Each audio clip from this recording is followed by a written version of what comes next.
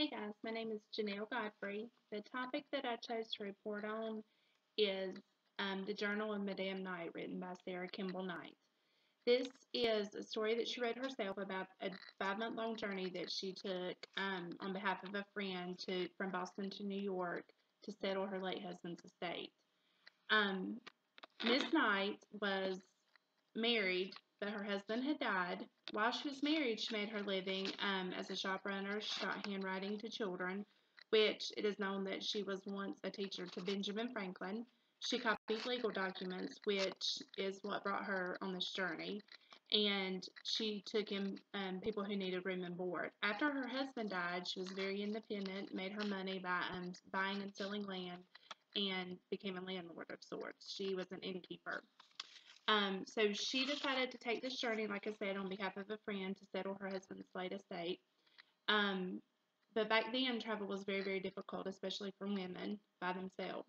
So she decided decided to hire different postmasters to travel with her on her journey. Um, this journey took five months, and it was from Boston to New York and back again. Um, it started in October, so the weather was just turning cold. So that was one of the biggest difficulties that she had was traveling in the weather, being a single woman, and um, just having to find room and board on the way there.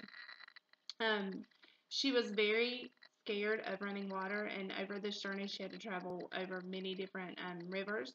She talks about one river that um, she her horse tried to travel across, and the water was very swift, and that the horse about fell in, which scared her another um, river, the Thomas River, that they had to travel over, she actually had to get in a boat because the weather was so bad and the wind was so hard that it made her boat rock back and forth. Um, so she decided to keep this journal just to talk about all the experiences she had on her um, trip. Like I said before, one of her biggest problems was finding room and board on her journey. Um, she had some good experiences, she had some bad experiences probably the bad experiences outweighed the good ones. Um, the only really good one that she talked about was when she actually stayed with a um, minister in New London. Um, she states he was handsomely and plentifully um, respected. He treated her very well and lodged her very well. She described him as the most affable and courteous and the best of men. She can't really say that about a, a lot of her other places that she did room and board at. Um, in Saybrook, she stopped for midday dinner, and she said she had a terrible landlady.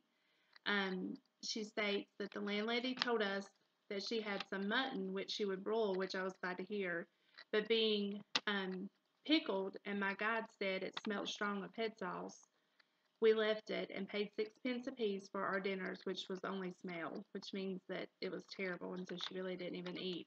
In Fairfield, she went to bed supperless one night. Her room was described as a little chamber furnished amongst other rubbish with a high bed and a lower one. Um, she states that she laid down, had never been more tired in her life, and found her coverings as bad as the bed was hard. Um, after six days, she stayed with relatives before traveling another three days to New York. And I think probably she was most comfortable with her relatives. Um, in her day and time, for you know, for the type of lady that she was, as independent as she was. She was also described as being a little bit racist for our standards these days. Um, she was very adventurous, but with her being so independent, it, it did lead to her being very strong willed. Um, some of the passages that she talks about that we would consider racist today um, she describes Connecticut's Native Americans. She states that they were the most savage of all the kind that she had ever seen. She um, once went to board someplace and was met at the door with what she described as an Indian like animal who came to the door who had ragged clothing on. She also states that she couldn't understand him, but could understand his wretched wife and daughter. She asked him to accompany her, but they referred to him as being as his ugly self, and he was the tattered tail guide. Um, one time she was in um, Connecticut, and she was eating with some farmers, and she states that they were very indulgent to their slaves. Um, she says that they suffered great familiarity from them, permitting them to sit at the table and eat with them because they said it saves time. And into the dish goes the black hoof as freely as the white hand, so she actually referred to it as a black hoof.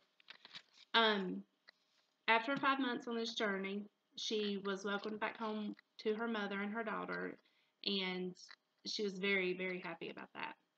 So, in conclusion, if you ever get a chance to read this story about her um, journey, it was it was very interesting just to hear about what she had to go through in that day and time. Thank you.